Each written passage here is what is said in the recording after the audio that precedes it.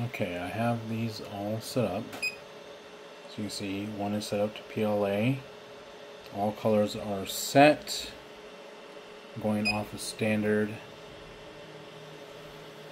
settings of the printer.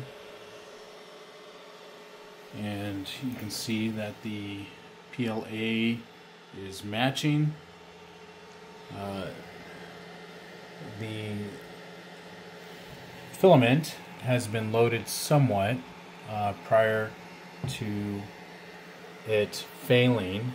It is now at this level here. Now when I go to extrude, let's just do position number one. It's almost heated up. So we're at 210.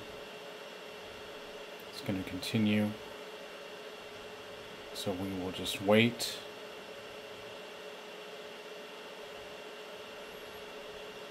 And the problem is when it tries to extrude, it does not work.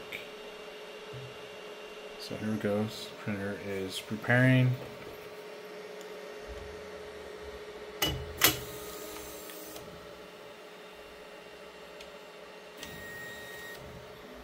Okay, here we go.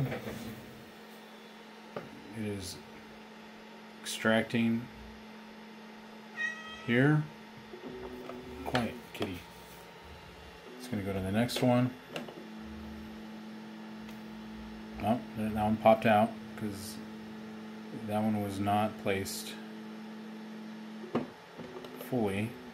Because it won't do that. I, I can't even get the filament to actually be extruded. There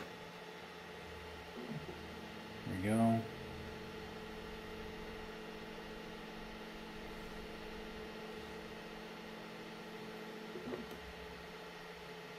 Okay, and then now I get the error. And there's nothing I can do, as far as I know, to overcome this, so please help. Thank you.